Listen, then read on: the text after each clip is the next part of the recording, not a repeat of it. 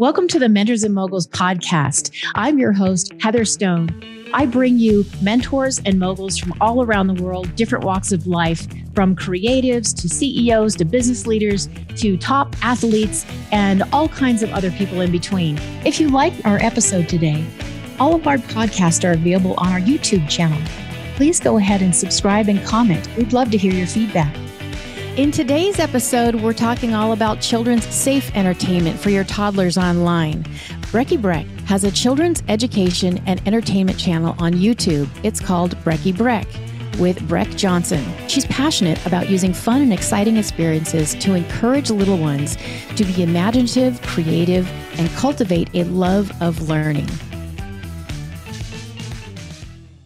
Welcome to another episode of the Mentors and Moguls podcast. Today, we've got a very fun guest. Yes, she's a special guest, but this one is uh, taking a little bit of turn. We're not talking to a serious CEO. We're not talking to an Olympic athlete. We're talking to someone from YouTube, Miss Breck Johnson, better known as Brecky Breck. Welcome, Breck. Thank you so much. I'm super excited to just you know, share my heart. So thanks for having me. All right. So some people might say, well, what in the world does she do if she's she's not a CEO uh, in the corporate world? The the reason why I wanted you on is because we talk about pivoting, especially with the pandemic. A lot of people have uh, either found themselves without a job, they've quit their jobs, or they said, "I'm not happy anymore. I want to do this over here mm-hmm. and you have done this over here and so that's why i wanted to dive into this saying anything is possible if you've just got an imagination and you put up the work mm-hmm. um, so how did i find out about breck and Brecky Breck. Uh, I have a grandson. He's 19 months old and he is infatuated with tractors and I was trying to uh, get him ready and settle down for a nap. And he wanted to see more about tractors. And I was looking online on YouTube for something for kids with tractors. And up pops this very colorful girl in, in with a big green bow. And I think you had a yellow shirt on and bright green glasses. But your personality, I said, she's got to be a school teacher that I, have got to hear her story because maybe she's a school teacher. It's a pandemic. She wanted to reach kids, something. He stood there. He wouldn't even sit. He stood there with his mouth open, watching and was fascinated for the entire tour of the tractors because oh, you made it so interesting. Yeah. Oh, that's so good. Yes. I love it. Yeah. So tell me a little bit about your background. Did you set out to do this? Is this a side hustle? Let's talk about you. Where did you come from and what's your background? Yeah, yeah. So I actually have four kids, and um, well, they're they're now nine, eight, almost seven, and four years old. But oh at the time we started the channel, my littlest girl was just born, so she was only like six months old. And um, I grew up. I've been involved in like church ministries and summer camps, and I've always helped out in kids stuff. I've been an avid babysitter growing up and I've just always had a heart for kids. And so, um, as my little kids were growing older, um, it was actually my oldest son who um, was interested in fire trucks. And so I typed in YouTube tour of fire trucks for kids. And um, there was one other creator that came up and it was super entertaining, but I'll, there was some things I'm like, man, I feel like I could, as a mom, I see some things that I would do differently, some things that I would love to add and um and i kind of just left that as a thought for a couple of years. And then finally um my husband i kept saying oh i just wish there'd be more content out there for kids like real life stuff that can be entertaining and engaging. And my husband's like well then why don't you do it? And i was like okay. And so that's how we started. We just kind of chose he asked me what my favorite colors were and i said green and yellow not necessarily together. Um yellow is my all-time favorite color but um so yeah, he was like, all right, let's go with that. And so we just came up with it. And um, yeah, we've been inspired by a lot, lot of other YouTube creators. But um, as a mom, I just feel like I have such a heart and I know how to engage and interact with children. So I felt like I had a lot of value to add to the YouTube scene. And YouTube is kind of a you know, it's an unknown place for kids in a lot of areas and parents. And so it's really important to have good quality content um, online for kids. And I just wanted to add that and kind of be a light um, in that arena. So that's how it got started. and I am loving it. We're three and a half years in now. And um, it's just been such a fun experience. I mean, so my husband is the videographer, so he is there with me. And so we get to go on like dates. And then a lot of times we'll come back with our kids and visit all of the places that we visit because you know they're like what you got to do that like yes. how did you get to ride in a hot air balloon or you do these things and i'm just like okay like we'll come back and revisit it so it's just super fun and i love it well, it's great. You've got a great personality. So I wasn't sure if you were showing up in uh, in your street oh, clothes. Yeah or in your, in your, gear today. Um, but uh, I wore the bright pink. I thought I'm not going to be in a business suit for this interview. No way. Oh, I love We're talking it. kids. Yeah, that's so awesome. Well, you're definitely very engaging with with children. I've seen this firsthand. So uh, before this interview this morning, I'm with my grandson today, and we watched the uh, the cow video of the oh, creamery. Yeah. yeah. And I thought, okay, have you done one where you where you go in and, and show them how ice cream is made? Because this is his new discovery is ice cream. Yes, we do. And it's one okay. of our fave episodes. So yeah, we went okay. to Renaissance ice cream and we mix milk and everything. And then um, the creator, he like makes this like teddy bear, like Uncle Teddy. I don't know if you've seen him in the show yet. Mm-mm. But we have a little um, a stuffed animal that I got at Costco that we incorporated into the show on the first episode or one of the first episodes. And then it was like a hit, so we had to keep him in there. So one of those giant teddy bears from Costco, we call him Uncle Teddy because I called him that on the fly, out of just on a whim. And a lot of times I'm not scripted at all, so we just kind of roll with it. And um, so I'll say stuff that I'm like, oh, okay, like you know, and and Kylan, you know, will cut stuff, but it's just a lot of fun. So yeah, there's a really awesome ice cream episode, and the creator made a teddy bear out of the ice cream, and I get to eat this giant teddy bear of ice cream and I don't eat the whole thing off the camera. it looks like I do, but I really don't. Very cute. Well, well I'll have to go show him that episode. Yeah. Um all right, so let's talk a little bit about this. So was this a big leap of faith? Did what was your end game for this? Did you think I just want to provide content or were you did you have a business model you were going after? Um, you know, we really didn't. I um I my heart and my passion are for kids and so I was like this is what I want to do. You know, I I just felt like if it goes somewhere amazing, but I just want to it's like I as a child I idolized, you know, Cinderella. And I always thought she's so humble and she's, you know, scrubbing the floor and her sisters are so mean to her. And I was like, man, these are like, you know, characters that you don't get to meet. How about creating a character that kids can look up to? And and I um I used to be a huge fan of this Canadian show called The Big Comfy Couch. And she's this girl dressed as a clown, kind of she just got a she's dressed as a doll and she has a doll and she does these stretches around the clock and then she cleans up her 10 second tidy and she stuffs everything under her couch but her personality in the show is just so warm and inviting and welcoming and comforting and i was like wow and i as an adult have looked at what is she up to nowadays? And come to find out she's a mom and like she's going on with her life. But I was just like, oh my gosh, like I love that um I felt so connected to her and like inspired by her and comforted. And um and as a parent I want I wanted to create something that was um you know something that's super engaging where it's informative and where when you go out in your everyday life you can see something like oh I know a little bit about that you know?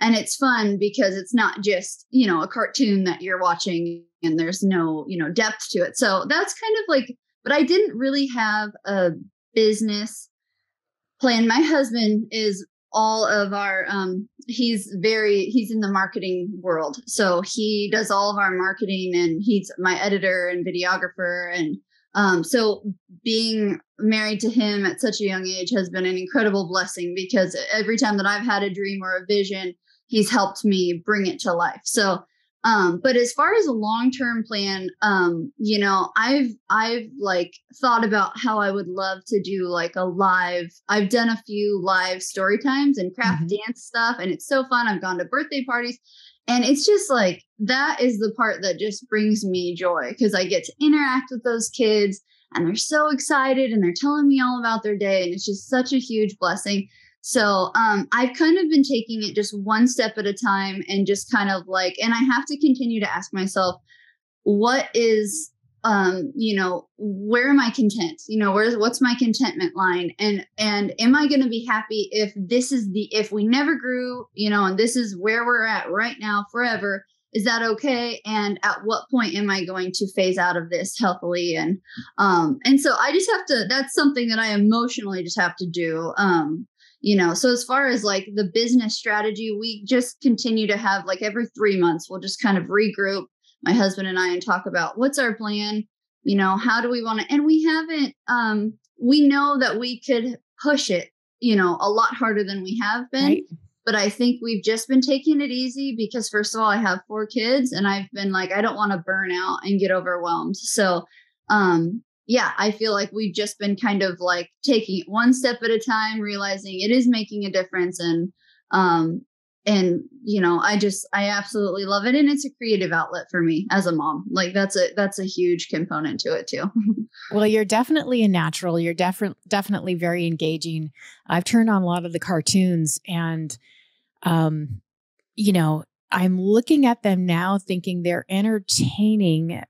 My grandson really doesn't get thrilled about the cartoons yet he's too little mm-hmm. but there's a lot of violence in the cartoons like they, yeah, they teach yeah. they teach you know, kids do bad things to other kids in the cartoons from such a young age. I thought, why do they need to see that right now? I know they're going to grow up and and they're yeah. They're going to learn about things like that, but why do they need to see that even before yeah. they're two? So right, right. Um, we limit the TV, so it's good yeah. to find something good and healthy yes. and safe on YouTube. Oh, for sure, right? and and that was that was a huge thing for me because as a mom, I was like, I want to take a break and go get the dishes done, but yes. I want to make sure that what they're watching is safe and wholesome and um and i've been trying to figure out how to incorporate those emotional those you know those arguments or those um combative behaviors that we run into it's like how do i like even as brecky breck how do i help like encourage and foster uh, communication and emotional health and so i've been really adamant about including other people into my episodes mm. by talking to adults asking questions. And then I've done a couple episodes with, um, like I played, it was a tea party episode, and I had like a dump truck run into the blocks and knock them over. And it's all just me playing with toys.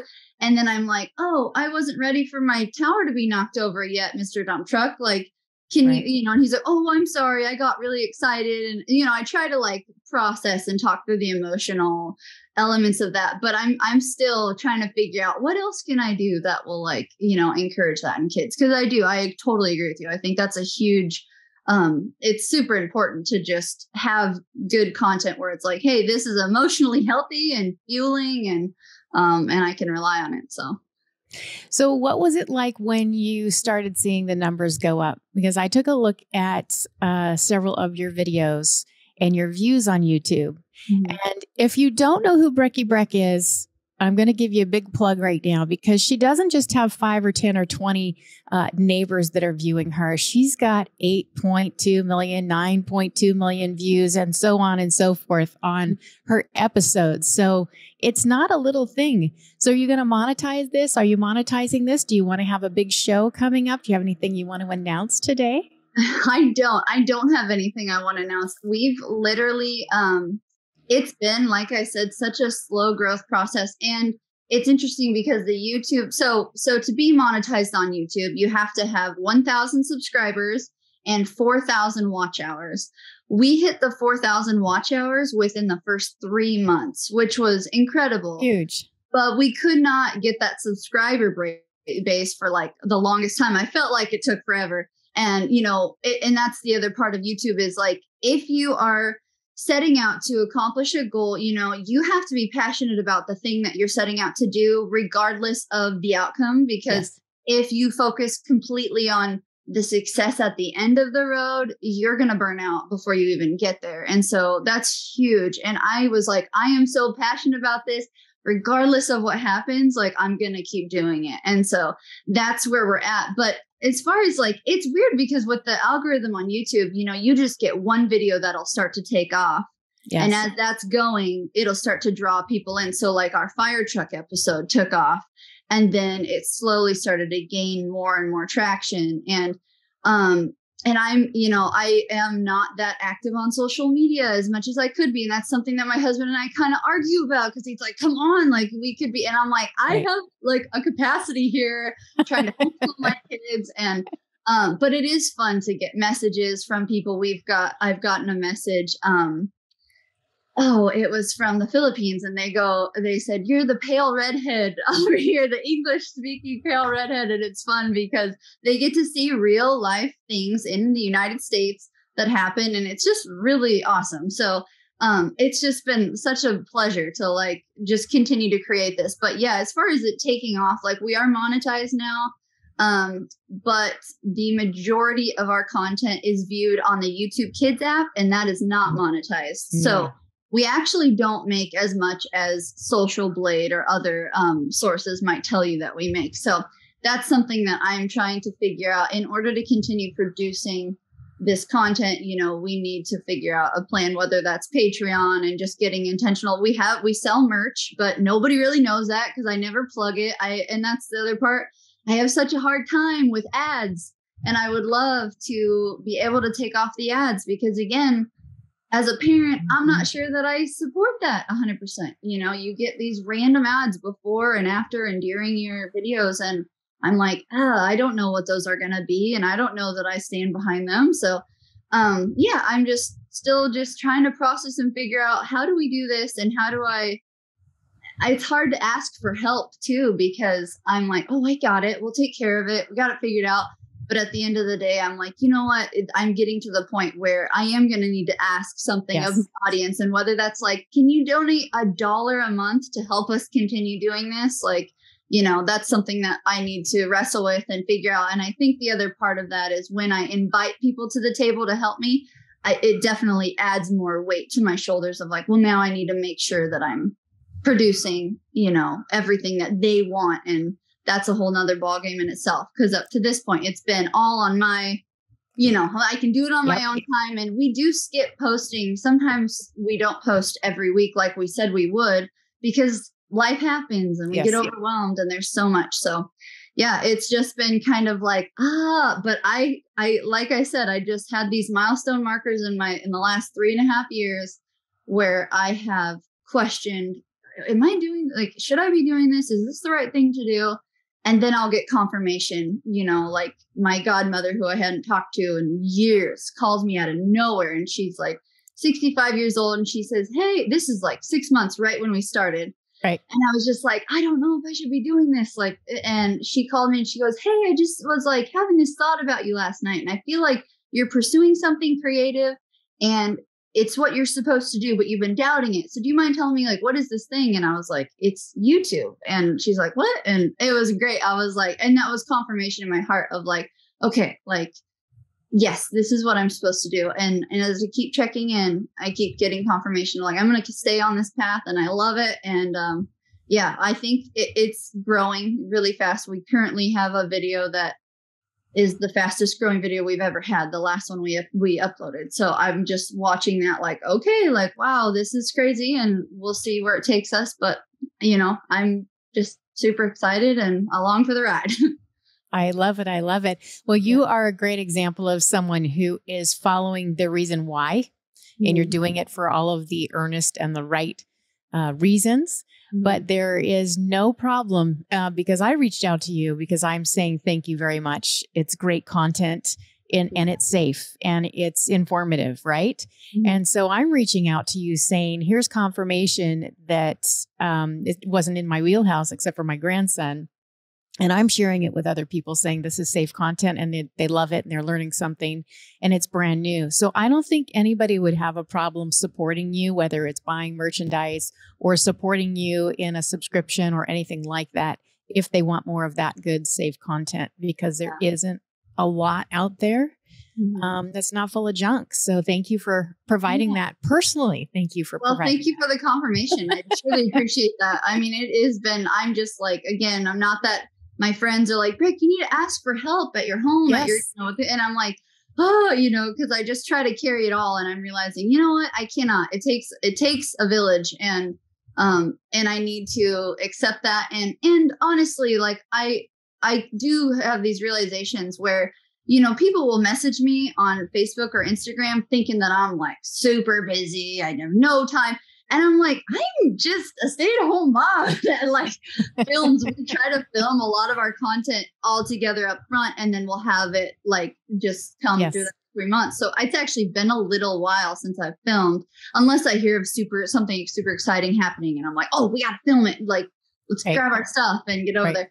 But um, yeah, for the most part, I'm realizing when people message me and I respond on social yes. media, they're like, wow, like she's talking to me. And I'm like, oh, okay. Like, I guess I can like, you know, I, I can, I have these friends, you know, this audience that is like thankful, like you said, and they're willing to help if I'm just yes. willing to ask. And that's where I'm at right now. I'm like, okay, I need to ask. And that's a whole nother ticket to success is like, it does take a village. And to get to that first thousand subscribers, it was like, I was asking my family and friends, please share this, help us, you know, and you know, mm-hmm. some of my friends are like, what are you doing? This is crazy. And a lot of them are like, oh my gosh, this is amazing. I love it 100%. And it just, and now I'm like, wow, without those first, that foundation, you know, I would not be where I am. And I'm just forever grateful. I love that. I love that. All right. So I have a few subscribers. So let's help you out here. Uh, everybody knows a toddler. Everybody knows uh, a young child that that needs some entertainment at some point, some good, valuable entertainment. Where can people find you? Yeah, you can just search Brecky Breck on YouTube. Um, and if you just subscribe, that would be awesome. You can also find me on Instagram um, and Facebook. And I was on TikTok, but I'm taking a break from that. And it's just, mm-hmm. it's so hard. So yeah, Brecky Breck, B R E C K Y, B R E C K. And um, it'd be awesome. Yeah, I truly appreciate the love and support. Okay. Everybody needs to go find and share with your friends and subscribe because we want her to continue um, on behalf of all of the children that are out there that are totally engaged. So, what's your favorite episode to date? Yeah, so I really, I mean, I have a couple favorites for different reasons, but um, camping was my all time favorite thing. Like it truly is. I used to make my parents take me camping every year for my birthday. It's in September. And I was just so, so filming the camping episode was a ton of fun. And I had these ideas to get um, uh this pizza costume and a hot dog costume and I was gonna like change into my jammies and then like jump behind a tree and jump out and I was turning into a hot like these aren't my jammies jump behind jump out oh this, this aren't my jammies and I just like it was so fun to film that whole camping episode um and it was really fun too because my dad actually was watching our children at the campground while we were filming it. So I was like, okay, you guys go play over there, like while we film this little, and it was so fun. But um, and just prepping all of that, you know, getting all the camping gear out and laying it out on the lawn. My husband's like, wow, you're really into this. And I was just like, I just love camping and I want to encourage little kids to get outside and explore. And um, so that was a super fun episode. And another fun episode was um, our fire station in Sunriver, Oregon. It was the day after Thanksgiving. It started to snow. There was no one around. They they invited me to come tour. And then while I was there filming, they had a couple guys in the kitchen making a giant breakfast for all the firefighters. Mm-hmm. And so by the time, right when we were done, they were done with breakfast and they did their little breakfast call and brought all the firefighters in. And they were like, oh, stay for breakfast. And we were like, what? Like, no. They're like, no, seriously. So we joined them for breakfast, and it was so special to sit at the table with a bunch of firefighters and just like the quiet, calm, snowy day, day after Thanksgiving. And then they sent us home with a bunch of awesome little toys and fun stuff for our kids because they were at an Airbnb just a couple like blocks down the road. So that was a super fun episode. And I, I think the biggest thing for me with filming is like I absolutely love getting to know people and their passions. And so as I get to film, you know, how newspapers mm. are made, I'm filming with this like 70 year old man who's been doing this for 45 years. And he's finally got someone in there that's like excited and like, tell me how you do it. Like, tell me how this big machine. And it was just like he lit up, I lit up, and it was just like, oh man, the energy in the room. And I felt like that was such a monumental day for him and it was a monumental day for me because i had this deep appreciation for what he does and what he's been doing for the last 45 years of his life and all these episodes that i've been doing i just love it that's the big thing too is like let's get inside their head And you, when you do that and you invite little kids to the table, they might find their next passion too by watching. Oh, I, I want to get into that. I want to, you know, meet people like that. And that's the even like coffee, the coffee episode. I'm not actually a coffee drinker, but when I filmed with them, like how into it they were about the roasting process and picking the beans and all this, and it was just so intricate. And I was like, oh my gosh, like this is incredible. Like you guys are really, really, they're good at their craft. And I mm-hmm. want to share that so much. So I just, I mean, it's like every episode is my favorite because I just love the interaction and the engagement that I get. And then the street sweeper, a gentleman that we filmed with, he was like, did not know what to expect. He was like, saw, he saw one episode. He's like, I barely watched it and I turned it off because it made me uncomfortable. And he's like, he, but he didn't really want to have anything to do with it. And I show up on scene and I'm like talking to him normal. Like I was like, hey, right. so this is what we're gonna do and how we're gonna do it. And he was like, okay, okay. And then we do it, and it only took us 30 minutes to film because he's like right. in less than that. And then we finish the episode within the next two days, post it, and then he I shit I send it to him and he sends it to his grandkids and he watches it and he goes, That was incredible. Like I don't know why I ever doubted you, but it was like so fun to like get to That's know so him. funny. Like who kind of started as a grouchy man was like, oh, this is actually really exciting. And you're showing something that, again, I do every day and I never get recognized for it and I never get to, you know, share it. So it was really fun to like, hey, let's like, and that's the other part. I'm just so jazzed right now because I'm like, I love that as an adult, we grow up and we lose our excitement for things that are exciting. And it's like, how do we stay vulnerable in our joy? And like these big tractors, these are very cool. But when an adult goes to look at a big tractor, you're not like, oh wow, look at that engine hole. I want to dance around it, you know. But as it's like as a creator, I'm like, oh my gosh, this is so fun. And it gives me the rite of passage to be excited and have that childlike mentality because that's how I'm feeling and I actually get to show it. So it, it's just so much fun. And I, again, I I could talk about it all day long. well, it's very clear that uh, you have a blast doing it and you can't fake it. I mean, you definitely are naturally excited. So it gets the audience and the kids very excited about what's going on. What do your children think of your show? They love it. Um, so yeah, yeah, yeah. Greta, my littlest, um, so she's four now and she is my biggest fan. She absolutely loves it. All my kids love it and they'll watch it it's funny because my oldest he'll watch it you know he's pretty cool and so he'll watch it but he'll he'll be like oh mom you should have said this or you should have he'll kind of critique it i'm like stop like i can't change it now on my own but it's so great because they just they're super supportive and there have been um, really cool opportunities where a mom reached out to me her son was in the er on his birthday mm. and um, she was like do you think you could send us a video message to wish him a happy birthday and and when I got the message, I, I checked her out on Facebook and I realized that she lived in Moses Lake, Washington, which was really close to my parents' house. And I was like in town. And so I was oh. like, can I come say hi? And oh. so I got a gift together and got to actually drop it off and say hi. And it was incredible because my kids, when I shared that, they were like emotional. Like my son was like mm. moved to tears, like, Mom, this is incredible. Like, you have to go. You have to go wish him a happy birthday and be with him. And um, he's got a lot of uh, problems that have been going on, this little boy. And so it was such an incredible opportunity to love on him in that capacity. And the fact that my kids get to see that and be a part of that and encourage that, they're huge fans of it. And we'll go out in public. And if a little kid, or they'll say, my mom's Brecky Breck. Like, you know, we're at a park and he's like, Mom, talk like Brecky Breck. Come on, talk like Brecky Breck. Oh, that's so like, funny. Oh, so it's it's really cool because I, I love the support that they share. If you're watching this on our YouTube channel, go ahead and subscribe to Brecky Breck. I know you know a child out there that can use some good, clean fun. Yes, awesome. Thank you. Thanks so much for tuning into the Mentors and Moguls podcast. If you enjoyed today's episode, rate and review this interview and share it with a friend who could benefit from today's guest. You can find bonus video episodes at mentorsandmogulspodcast.com or check out our events page and our blog at heatherrstone.com. Until next time, make it a great day.